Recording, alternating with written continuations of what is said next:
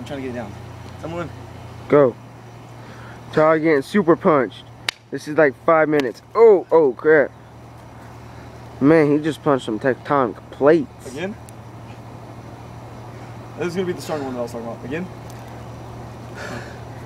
Todd is a master. Oh.